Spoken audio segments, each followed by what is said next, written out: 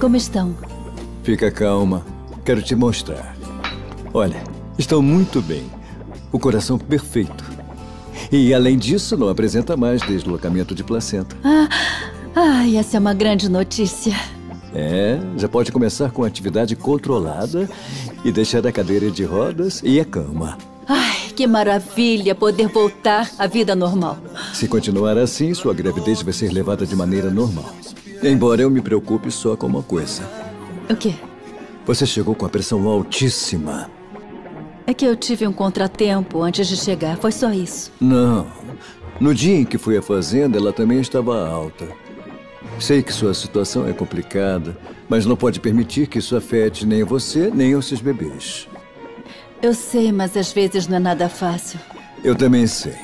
Mas tem que relaxar. Bom, pode se vestir. Uhum. Eu vou te passar uhum. uma receita. Hum? Marina, você está tomando ácido fólico? Sim, senhor doutor. Hum, perfeito. Eu já volto. Que incrível vê-los. Como se nunca tivesse visto um ultrassom. Bom, eu já vi. Mas não da mulher que eu amo. Ah, bom, eu vou indo me vestir. Marina, realmente pensa em passar toda a gravidez aqui? Porque hoje você encontrou o pai dos seus filhos na cidade. E isso quer dizer que aqui vai ser muito mais frequente você encontrá-lo. E isso te faz mal. Eu sei, mas ainda não defini minha vida. Eu cheguei a pensar em ir embora, mas depois tive que ficar em repouso e não pude mais ir. Sim, tudo bem. Agora você já pode andar. Certamente você vai dizer que falo isso por mim, mas não é isso. Me escuta, Marina. Comigo ou sem mim, tem que ir embora dessa cidade. Você tem que se afastar desse homem que só te causou desgosto. Ele é que bom que chegou.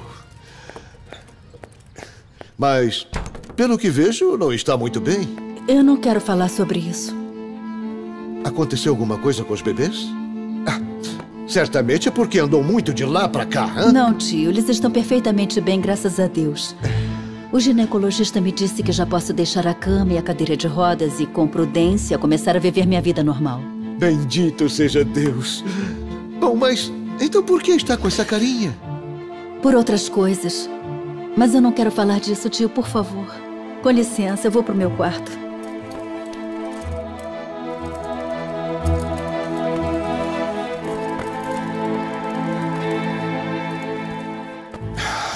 Com certeza foi esse cafajeste do Saul. Não posso ficar de braços cruzados. Não vou permitir que este homem volte a machucar seu coração.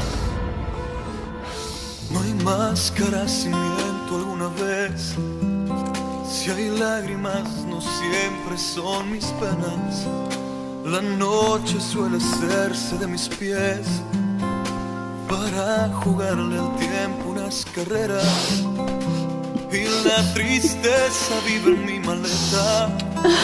Y por la tarde juega Por que, Jerônimo? Por que não pode ser você aqui junto comigo, olhando por seus filhos? Eu não vou. Não vou mais aguentar isso. Eu não posso mais. Senhor, me ajuda a fazer a coisa certa. Por favor. Comigo ou sem mim, tem que ir embora dessa cidade. Você tem que se afastar desse homem que só te causou desgosto. Tem razão, Saul. Meus filhos não merecem que eu passe uma gravidez cheia de tristeza e de desespero. Não, meus amores. Vocês não merecem isso. Eu prometo que eu vou dar o melhor de mim. Sempre o melhor.